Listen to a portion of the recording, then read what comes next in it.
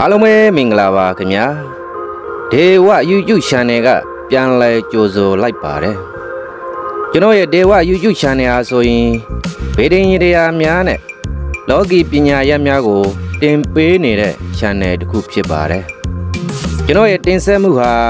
မိတ်ဆွေများအတွက်အကျိုးတစုံတရာရှိမယ်ဆိုရင် like ပုံမှန်များဝင်ရဲနိုင်သလို subscribe ဆိုတဲ့အနည်းရောက်စာတန်းကို မနှိပ်ရသေးရင်လည်း နှိပ်ပေထားဖို့တောင်းဆိုအပ်ပါတယ်မိတ်ဆွေများအတွက်အကောင်းဆုံးဖြစ်အောင်တင်ဆက်ပေးနေပါတယ်ကျေးဇူးတင်ပါတယ်ခင်ဗျအားလုံးပဲမင်္ဂလာပါခင်ဗျဒီကနေ့ကျွန်တော်မျှဝေပေးသွားမှာကတော့ဆရာကြီးမင်းသိန်ခရဲ့ကိုလာပိုင်12ရက်ကနေကိုလာပိုင်17ရက်နေ့အထိခုနှစ်ရက်သားသမီးများအတွက်တပတ်စာဗေဒင်ဟောစတမ်းဖြစ်ပါတယ်ပထမဦးစွာတလင်းကနေသားသမီးများအတွက် ဒီတစ်ပတ်တလင်းကနေသားသမီးတွေဟာနိုင်ငံခြားခရီးအတွက်သတင်းကောင်းများကြားမယ်အချိန်ကာလဖြစ်ပါတယ်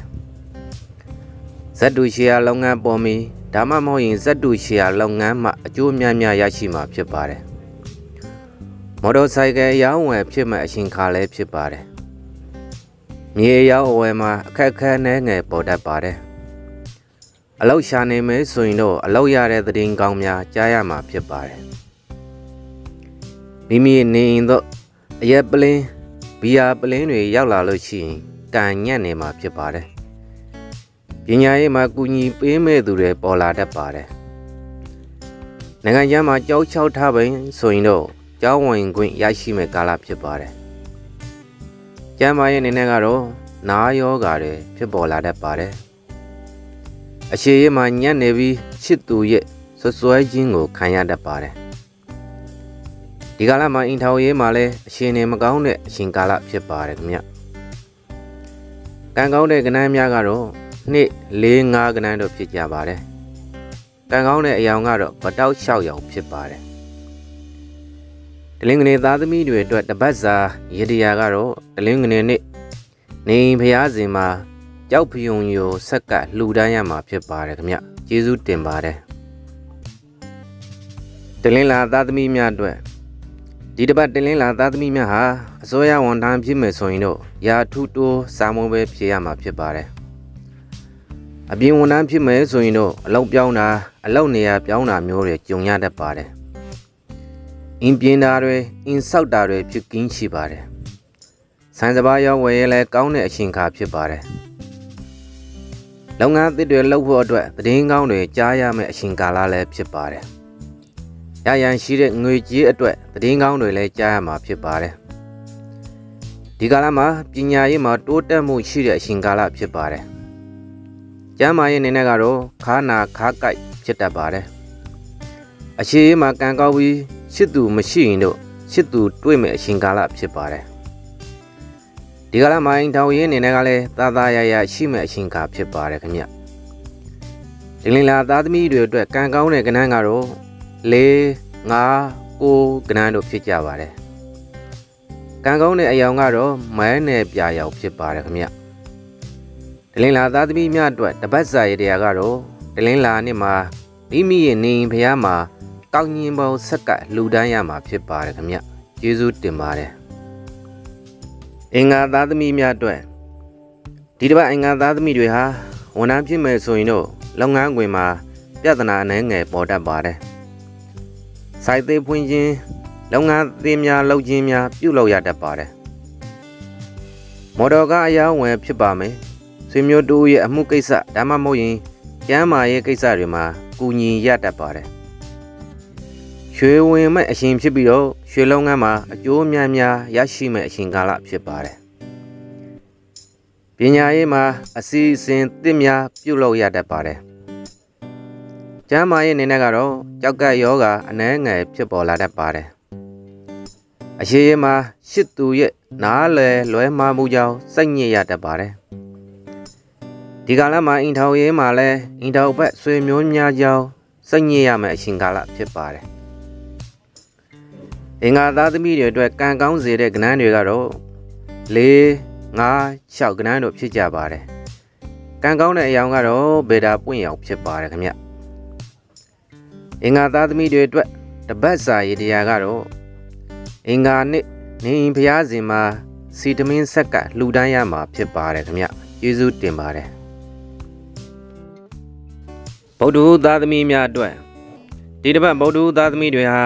အိမ်အင်ကန်တိုက်ကန်အယောင်းဝယ်ဖြစ်မဲ့အချိန်ကာလဖြစ်ပါတယ်နိုင်ငံခြားကငွေရောက်မယ်ဒါမှမဟုတ်ရင်နိုင်ငံခြားငွေဝင်ပါမယ် မိမိရဲ့ဆွေမျိုးတူဦးနဲ့ဇက်တူလုပ်ငန်းတွေပေါ်လာတတ်ပါတယ်စိုက်ပျိုးရေးလုပ်ငန်းသုံးစက်ပစ္စည်းများဝင်လာတတ်ပါတယ်ငွေကြေးကိစ္စအတွက်စကားပြောရတတ်ပါတယ်ဒီကာလမှာအဝတ်အထည်အသစ်တွေလည်းဝင်လာတတ်ပါတယ်ဒီအတော့တွင်အမိအဖတူဦးကျမ်းမာရေးညံ့တတ်တဲ့အချိန်ကာလဖြစ်ပါတယ်ပညာရေးမှာလည်းအနှောက်အယှက်တွေပေါ်နေမဲ့အချိန်ကာဖြစ်ပါတယ် ကျမ်းမာရေးအနေနဲ့ကတော့နာယောဂါတွေဖြစ်ပေါ်လာတတ်ပါတယ်အခြေရေးမှာကံညံ့နေပြီးတော့ချစ်သူရဲ့အထင်လွဲမှားမှုကိုခံရတတ်ပါတယ်။အင်တောင်ရဲ့မှာလည်းအင်တောင်ဖက်နဲ့စကားများရတတ်ပါတယ်ခင်ဗျ။ဗုဒ္ဓသားသမီးတွေအတွက်ကံကောင်းစေတဲ့ကဏ္ဍကတော့1 4 8ကဏ္ဍတို့ဖြစ်ကြပါတယ်။ကံကောင်းတဲ့အယောင်ကတော့ဘောငွယ်ရောင်ဖြစ်ပါတယ်ခင်ဗျ။ဗုဒ္ဓသားသမီးတွေအတွက် တပတ်စာရေတရာကတော့ဗုဒ္ဓဟူးနဲ့ဗုဒ္ဓဟူးတောက်မှာရက်ပြူလေးလက်ဆက်ကလူတန်းရမှာဖြစ်ပါတယ်ခင်ဗျယေရှုတင်ပါတယ်ဇာသပတိသားသမီးများအတွက်ဒီတစ်ပတ်ဇာသပတိသားသမီးတွေဟာရွှေအတွက်သောကများတတ်ပါတယ်နိုင်ငံခြားကငွေဝင်တတ်ပါတယ်ဒါမှမဟုတ်ရင်နိုင်ငံခြားကငွေရောက်လာတတ်ပါတယ်မော်တော်ကားရောင်းဝယ်ဖြစ်မဲ့အရှင်ကာလလည်းဖြစ်ပါတယ်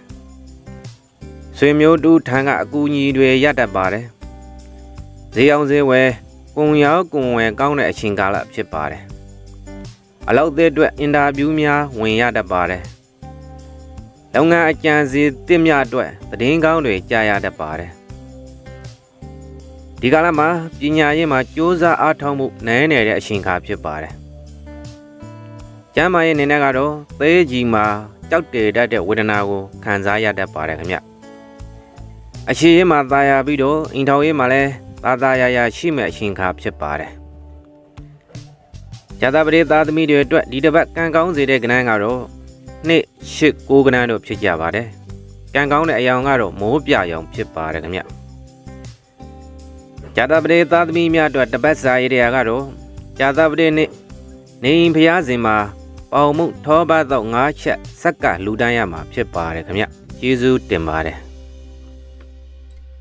တောက်ကြသားသမီးများအတွက်ဒီတစ်ပတ်တောက်ကြသားသမီးတွေကတော့မြေအယောင်းဝယ်အတွက်သတင်းကောင်းကြားရမယ့်အချိန်ခါဖြစ်ပါတယ်။နိုင်ငံခြားသို့အလုပ်လုပ်ဖို့ထွက်ခွာရမယ့်အချိန်ခါလည်းဖြစ်ပါတယ်။ဒီကာလမှာစာချုပ်စာတမ်းတစ်ခုပြုလုပ်ရပါမယ်။အမှုပညာလုပ်ငန်းများအောင်မြင်မဲ့အချိန်ခါဖြစ်ပါတယ်။တောက်ကုန်းတောက်တန်းဖက်သို့ခရီးထွက်ရတတ်ပါတယ်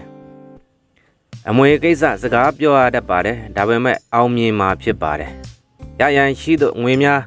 ဒီကာလမှာရလာမှာဖြစ်ပါတယ်။ပညာရေးနဲ့ပတ်သက်ပြီးအောင်မြင်မှုများစွာရရှိမဲ့အချိန်ခါလည်းဖြစ်ပါတယ်။ကျမ်းမာရေးအနေနဲ့ကတော့လေချောင်းနာတဲ့ဝေဒနာကိုခံစားရတတ်ပါတယ်ခင်ဗျ။အခြေရေးမှာကံညက်နေပြီးတော့ချစ်သူနဲ့အနေဝင်းနေတတ်ပါတယ်။အိမ်ထောင်ရေးအနေနဲ့လည်းအခြေအနေမကောင်းတဲ့အချိန်ခါဖြစ်ပါတယ် တောက်ကြသားသမီးတွေအတွက်ကံကောင်းတဲ့ကဏ္ဍတွေကတော့ငါးခွန်ကိုကဏ္ဍတို့ဖြစ်ကြပါတယ်ကံကောင်းတဲ့အယောင်ကတော့ရေညှိစိမ့်ရောက်ဖြစ်ပါတယ်ခင်ဗျတောက်ကြသားသမီးများအတွက်တပတ်စာရတရားကတော့တောက်ကြနဲ့နေရင်ဖျားစင်မှာဦးသီးကျော်၅ခုဆက်ကလှူဒန်းရမှာဖြစ်ပါတယ်ခင်ဗျယေရှုတင်ပါတယ်စနေသားသမီးများအတွက်ဒီတစ်ပတ်စနေသားသမီးတွေကတော့မော်တော်ဆိုင်ကယ်အသစ်တစ်စီးဝယ်ဖြစ်တတ်ပါတယ် အလောက်သေးအတွက်သတင်းကောင်းတွေကြားရမှာဖြစ်ပါတယ်။ဆန်စပါးရောက်ဝယ်လဲကောင်းမဲ့အရှင်ကာဖြစ်ပါတယ်။နိုင်ငံခြားခရီးအတွက်သတင်းကောင်းတွေလည်းကြားရမှာဖြစ်ပါတယ်။အိမ်အိမ်ကတိုက်ကအယောင်းဝယ်မှာအနောက်ချက်အနှဲငယ်ပေါ်တတ်ပါတယ်။ဒီကလာမှာငွေကြေးကိစ္စအနှဲငယ်စိတ်ညစ်ရတတ်ပါတယ်။ပညာရေးအနေနဲ့ကတော့သတင်းကောင်းတွေကြားရမယ့်အရှင်ကာဖြစ်ပါတယ်။ ကျမ်းမာရေးအနေနဲ့ကတော့ခေါင်းမူခေါင်းကိုက်တဲ့ဝေဒနာကိုခံစားရတတ်ပါတယ်ခင်ဗျအခြေရင်းမှာကံကောင်းနေပြီးတော့ချစ်သူထိုင်မှသတင်းကောင်းများကြားတတ်ပါတယ်ဒီကလာဒီရှိမှာအင်တော်ရဲကလည်းသာသာရရရှိမဲ့အချိန်ကာဖြစ်ပါတယ်စနေသားသမီးတွေအတွက်ကံကောင်းစေတဲ့ကဏ္ဍကတော့တောင်းငါးခွန်ကဏ္ဍတို့ဖြစ်ကြပါတယ်ကံကောင်းတဲ့အယောင်ကတော့ခေါ်ပြအယောင်ဖြစ်ပါတယ်ခင်ဗျ စနေသားသမီးတွေအတွက်တပတ်စာရတရားကတော့စနေနေ့နေဖျားစင်မှာထောပါထမင်းဆက်ကလှူဒန်းရမှာဖြစ်ပါတယ်ခင်ဗျကျေးဇူးတင်ပါတယ်ဟုတ်ကဲ့အခုကျွန်တော်မျှဝေပေးတာကတော့ဆရာကြီးမင်းသိန်ခရဲ့